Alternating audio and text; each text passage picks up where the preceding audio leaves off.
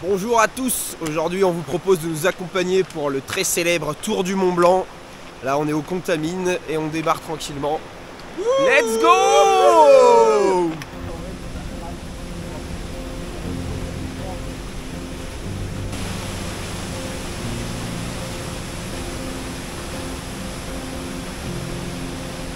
On a pris un petit peu d'altitude et ça y est, on commence à tutoyer les petits sommets alpins. Grand ciel bleu, ça va être une belle journée.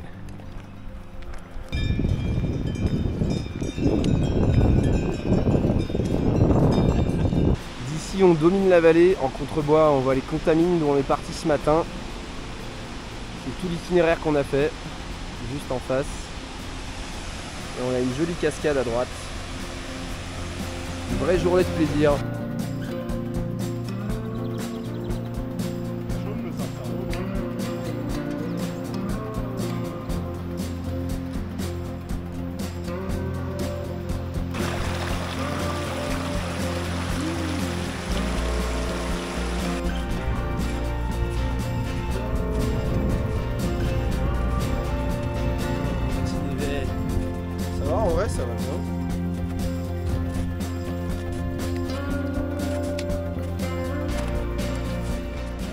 En vue, dernière section euh, de la montée euh, qui est assez raide.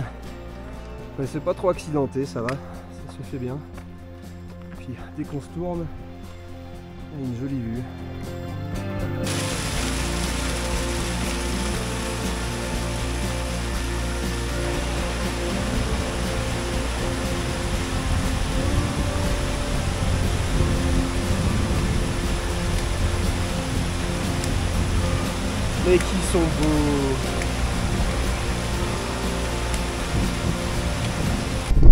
Premier col fait, 2300 mètres.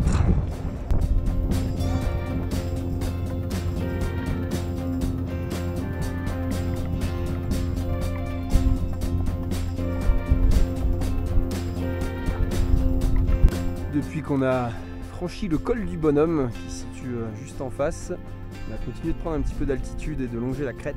En face de nous, on a le lac de Roseland.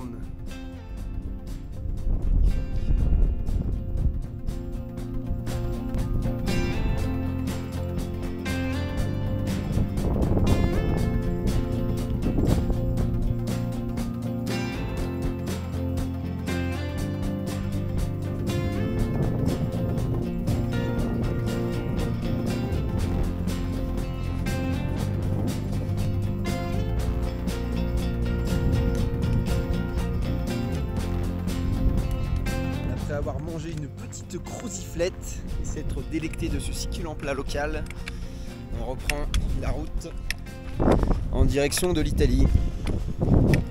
Allez mes petites cabrilles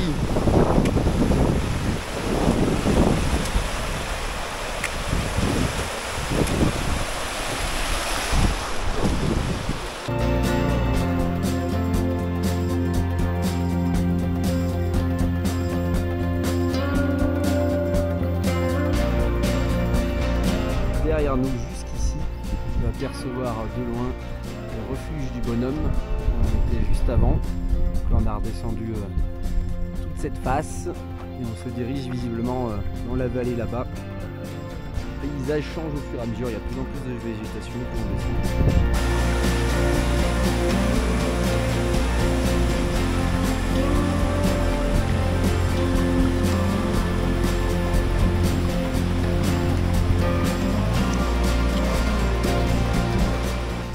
A changé de vallée et là on remonte progressivement la vallée euh, à contre-courant de la rivière pour aller en direction du col qui est en face.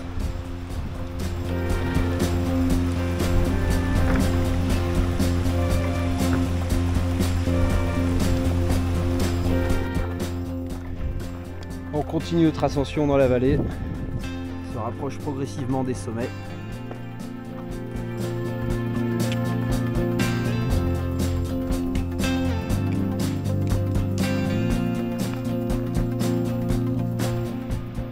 Cascade juste en face. Avec ce soleil à la fonte des neiges, les torrents sont quand même euh, très abondants, il y a pas mal de débit. Ça fait des beaux paysages. Petit spot de camping en contrebas du glacier.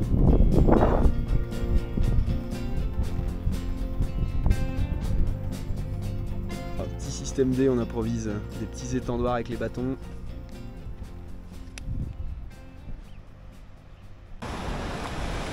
Jour numéro 2 sur ce tour du Mont Blanc. C'est reparti. À notre gauche, on a une magnifique rivière avec de l'eau très froide dans laquelle on s'est baigné hier. Pour se laver, bah, c'était tout à fait horrible. Allez, ça part à l'aventure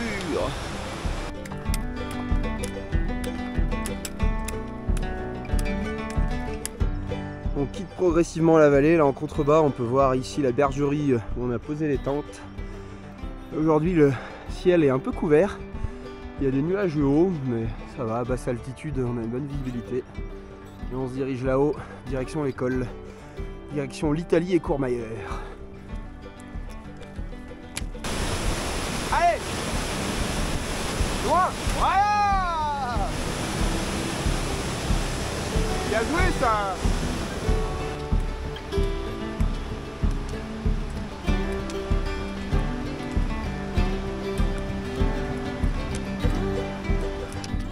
On avance en direction du col, la tête dans les nuages. Pas beaucoup de visibilité malheureusement. Bon, on perd pas espoir, il y a un deuxième col aujourd'hui. Ça va peut-être euh, se dégager sur le second. on est arrivé en haut du premier col et bah, il n'y a pas de vue. Espérons que le deuxième ce soit mieux. Cap vers l'Italie et Courmayeur. Un peu moins de nuages de ce côté-là, du versant, entre les deux cols. Une vallée bien préservée, il n'y a pas trop de traces de l'humain en dehors des randonneurs, c'est bien sympa.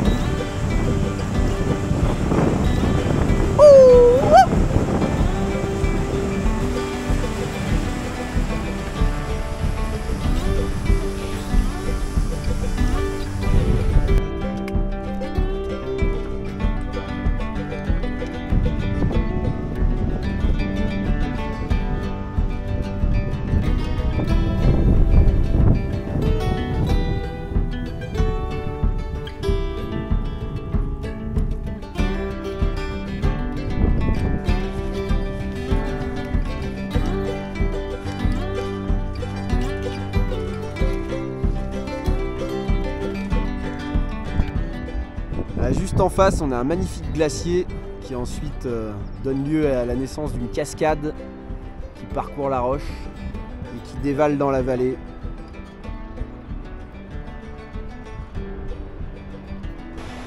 Juste en dessous, on a un phénomène un peu marrant. Il y a la rivière qui passe sous le Mévet et qui ressort en bas.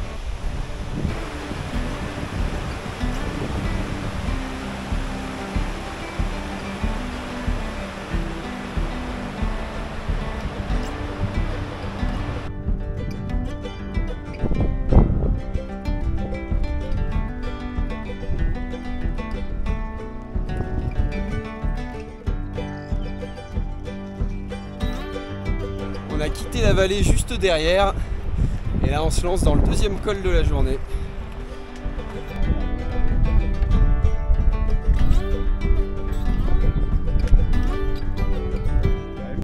Après un petit peu de hauteur, on est sorti de la végétation et on se dirige tout droit vers le col qui est situé tout là-haut.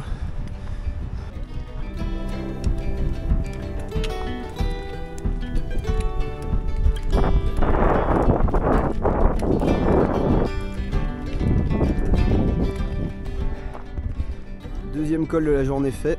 On est arrivé par la vallée ici, on a remonté tout du long. Donc juste en face, on a le Mont Blanc. Là on est sur la face côté sud et de l'autre côté c'est la face qu'on connaît un peu plus euh, côté français. Là on descend euh, doucement en direction de Courmayeur, la ville italienne, en étant un petit peu sur euh, le flanc de la montagne. C'est assez roulant, c'est assez agréable on a quand même 1200 de dénivelé euh, avant de retomber au niveau de Courmayeur. Donc il va falloir y aller à l'économie.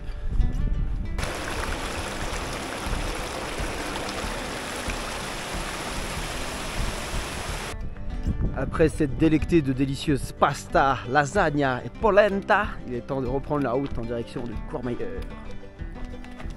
Petite section dans les bois pour redescendre sur Courmayeur. J'ai profité d'un petit replat pour sortir la caméra. Globalement, ça descend assez raide.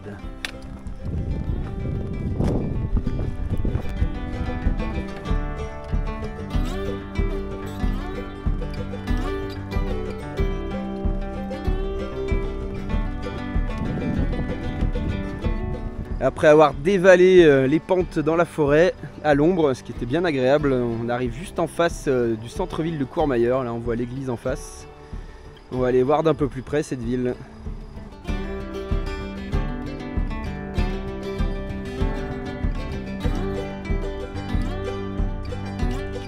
On a traversé euh, le village de Courmayeur et là on continue sur la route. C'est pas la section la plus agréable, mais pour rejoindre le camping, on n'avait pas le choix.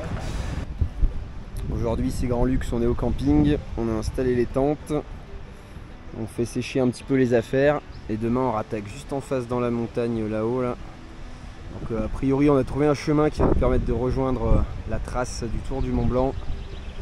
Qu'en gros euh, là-bas derrière du coup il y avait Courmayeur, la trace officielle elle passait plutôt de l'autre côté de la montagne vers l'arrière et nous du coup on rejoint la trace par là. Et pour avoir un camping on n'avait pas le choix, sinon c'était l'hôtel mais ça nous faisait chier. Le jour se lève et les villageois se réveillent. Jour 3 sur le tour du Mont Blanc. L'objectif c'est de rejoindre la trace du tour du Mont Blanc en atteignant cette crête par un petit chemin qui longe la montagne. Et aujourd'hui, grand ciel bleu et soleil.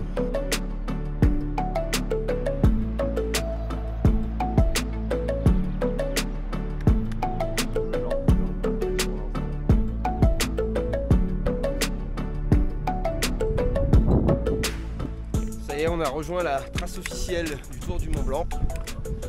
Grand soleil, ciel bleu, le Mont Blanc derrière nous, impeccable. Petite section dans la forêt luxuriante, magnifique.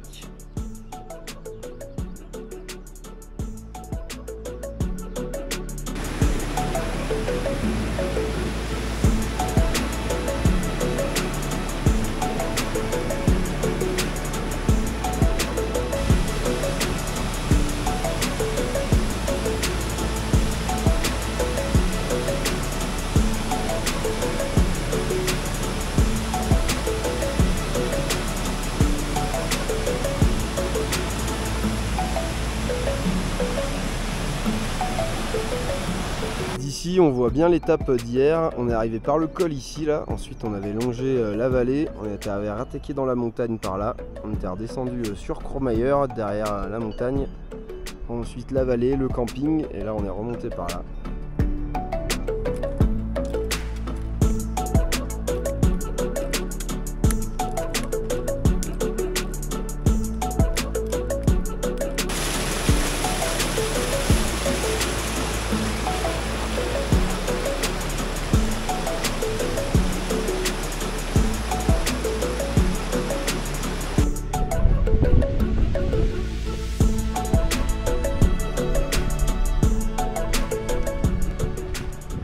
Ce matin on était sur la montagne en face.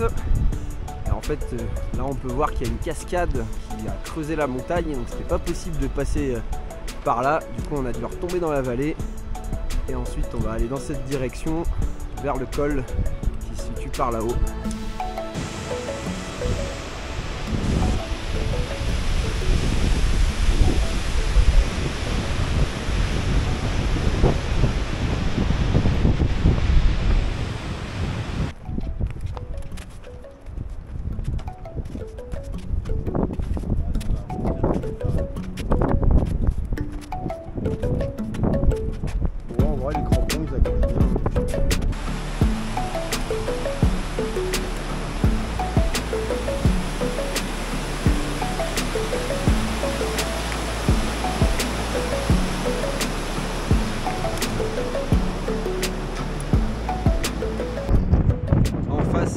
glacier qui se fait taper dessus par le soleil et du coup euh, ensuite ça donne naissance à une rivière. On continue en direction du col, c'est bien éloigné de la vallée. ça monte raide. On arrive bientôt au col. Et après, beaucoup de descentes au programme. Depuis qu'on a quitté la vallée, on a gagné euh, pas mal de dénivelé.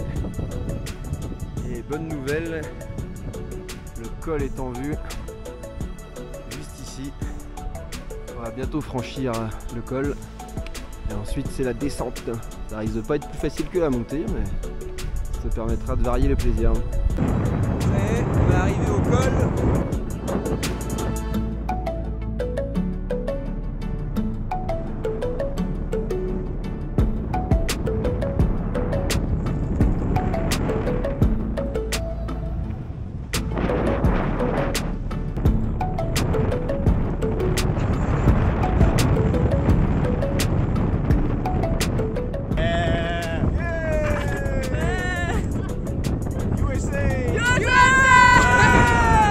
haut du col, on sait pas trop ce qui s'est passé, mais euh, des américaines euh, d'un groupe de randonnée euh, nous a sauté dessus et nous ont offert des, des petites fleurs.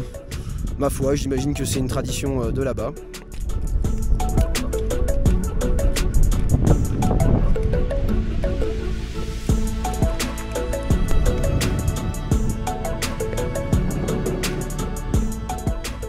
Le drapeau suisse qui flotte au vent, qui signifie qu'a priori on a changé de pays. On découvre progressivement une nouvelle vallée et une nouvelle facette du massif du Mont Blanc, la facette côté suisse.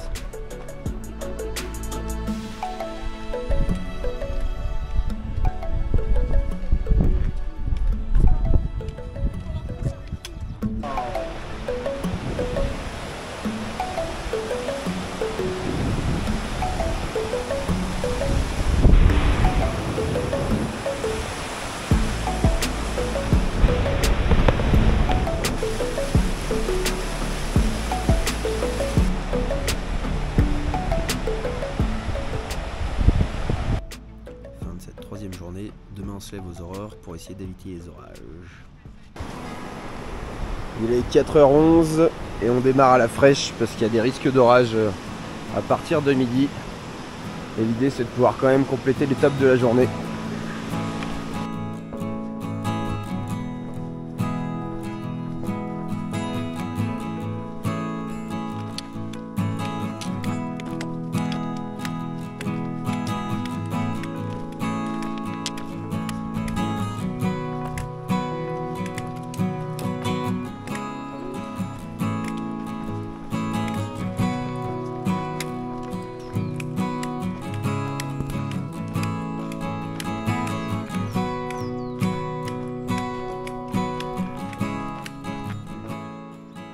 Soleil se lève progressivement sur la vallée. «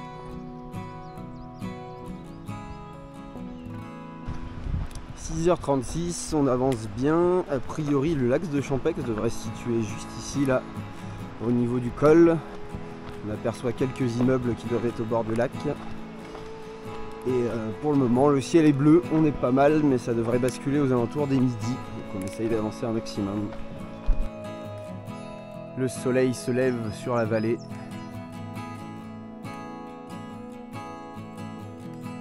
Ça part en spéléologie.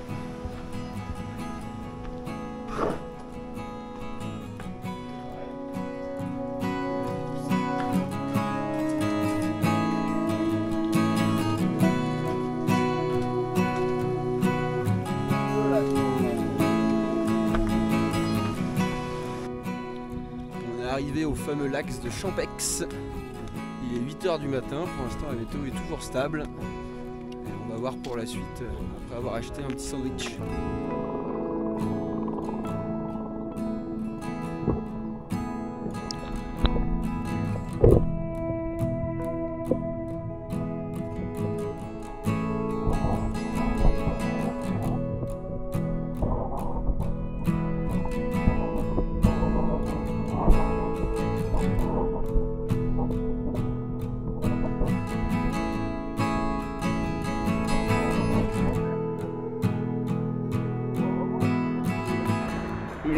Il est 9h15.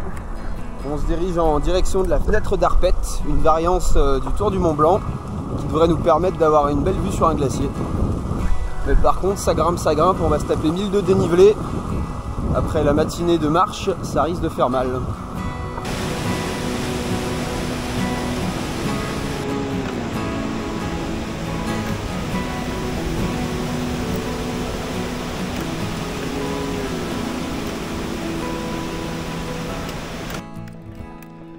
De l'altitude progressivement, il y a de moins en moins de végétation. Et pour l'instant, c'est toujours le grand ciel bleu, mais ça devrait basculer dans quelques heures. On se dépêche d'arriver au sommet. On continue de progresser dans la vallée, on s'approche de plus en plus de la fenêtre. Les nuages porteurs de malheur et de l'orage commencent à arriver du sud. Pour l'instant, c'est pas trop menaçant. Et le point de passage doit être situé par là-haut, la fenêtre. On est dans l'ascension la fenêtre de l'Arpette. Et ben, c'est du gros pierrier, c'est dur. Petite section dans les pierriers et les névets. C'est costaud. Après, visiblement, ça va finir sur un petit chemin en zigzag. Ça va aller pas mal. On a bientôt fini du Perrier.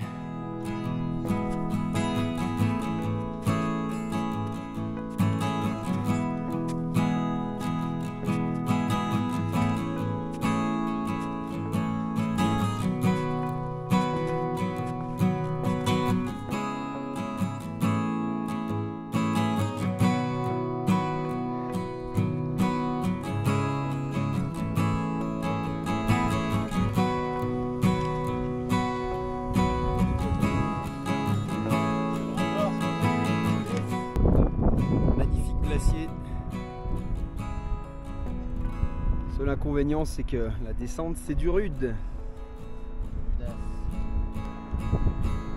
C'est ça le spectacle. Il a raison, c'est en face que c'est grandiose. Oh le petit bouquetin Oh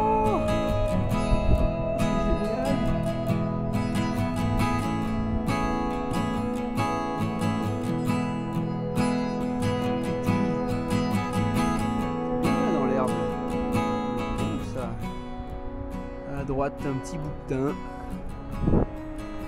À gauche un glacier. Bon, finalement, hein, il n'y a pas trop de quoi se plaindre. Mais en face, un potentiel orage. Et ça, c'est.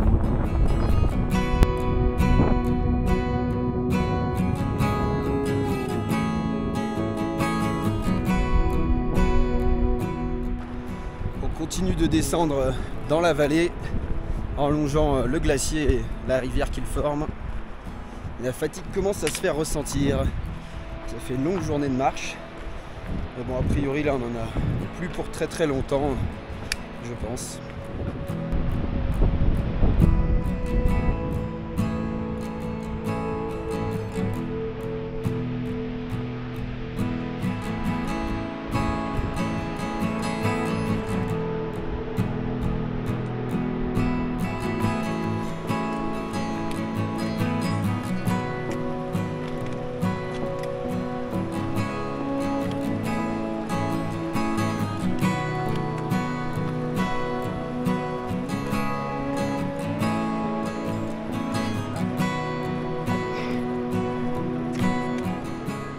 On continue de progresser euh, dans la vallée, de de redescendre.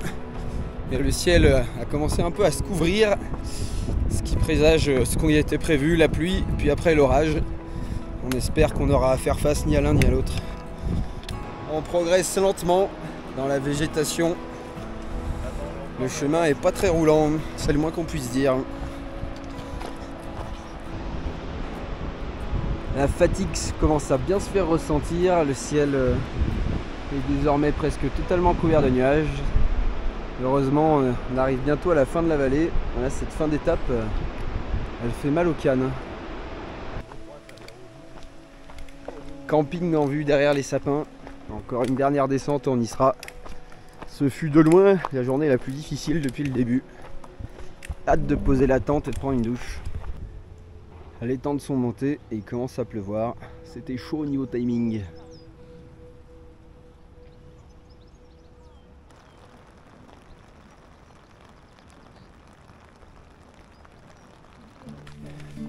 Début de la cinquième journée. Aujourd'hui, direction la France.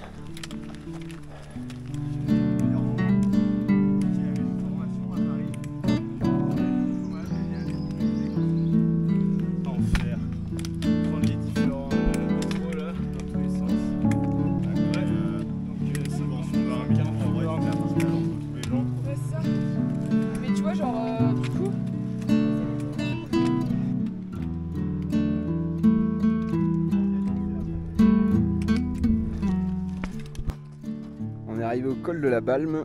Comme vous pouvez le voir, la vue est formidable. Rando passion, rando plaisir, il commence à flotter, on met les capotes. Comment ils vont les cousins là, les deux frères?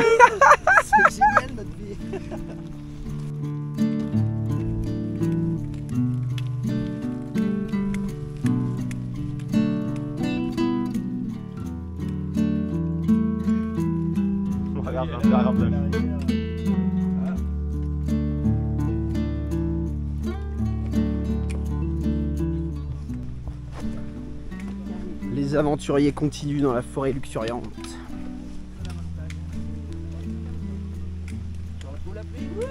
Aujourd'hui, on a décidé de poser les tentes aux alentours de midi et de faire une petite journée de randonnée, car les prévisions météo n'étaient pas très bonnes. Il y avait beaucoup de précipitations annoncées, mais les jours suivants devraient être meilleurs, donc ça va être cool. On va pouvoir boucler euh, ce tour du Mont Blanc. C'est parti pour cette sixième journée sur le tour du Mont Blanc.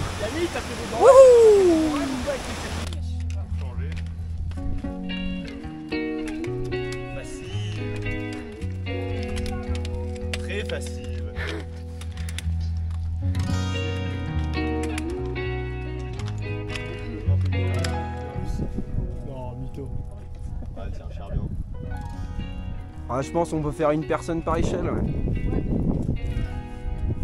Ça va, ça glisse pas Si Arrêtez ça glisse pas du tout. Fais voir comment t'es beau, Julien. Tiens, ces, ces muscles saillants.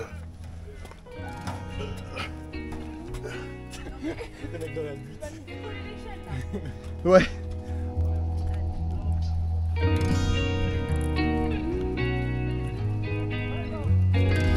C'est bon.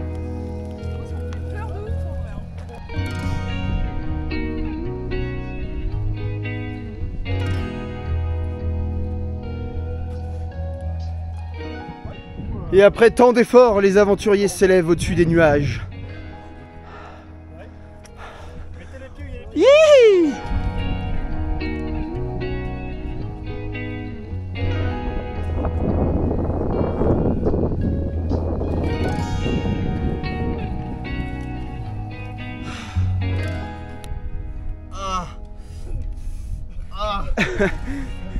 Des cris genre ça souffre. Ah J'ai les orteils qui sont en train de geler.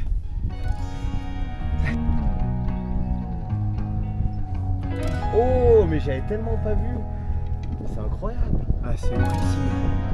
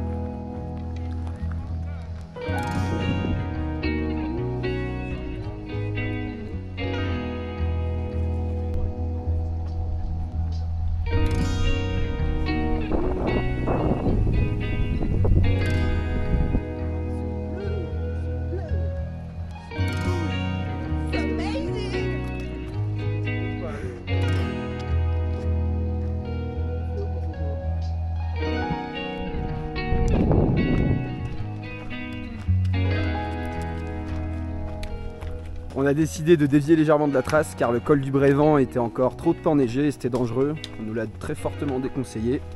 Du coup, on a trouvé des chemins alternatifs qui vont nous permettre euh, de longer Chamonix et puis ensuite euh, d'arriver jusqu'aux Houches.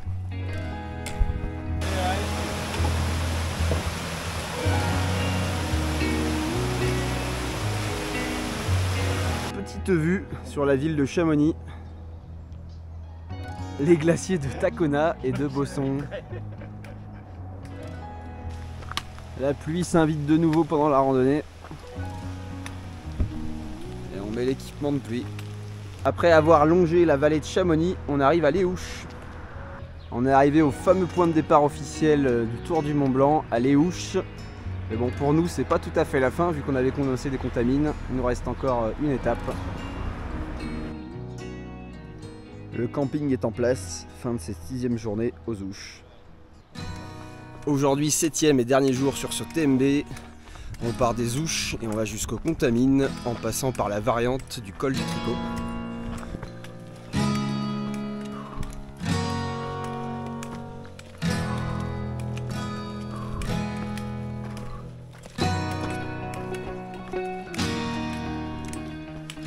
On quitte progressivement la vallée de Chamonix et juste devant nous on a le train euh, du Mont Blanc.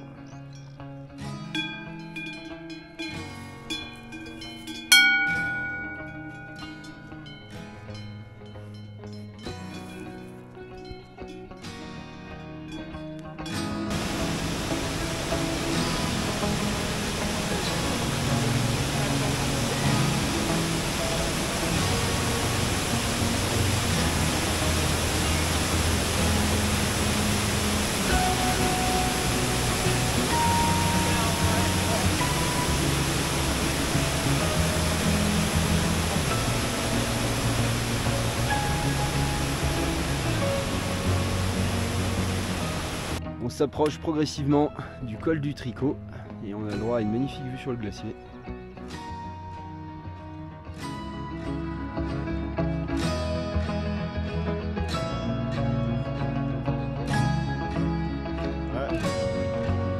Bah on on. On est arrivé euh, en haut du col du Tricot. Dernier gros col au-dessus des 2000.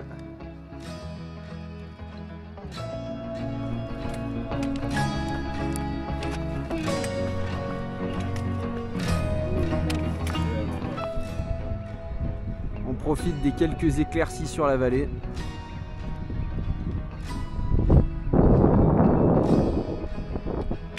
On redescend progressivement la vallée en direction des contamines. On arrive dans la vallée. Ça sent bon, bientôt la fin du TMB. Oh putain, c'est bon ça. Et ça y est, après 7 jours, le tour du Mont Blanc c'est fait. Là on est dans le centre des contamines. On a réussi euh, notre défi. J'espère que vous avez apprécié cette vidéo. Si c'est le cas, n'hésitez pas à balancer un petit pouce, un commentaire, à vous abonner, ça fait toujours plaisir. Et on se dit à la prochaine.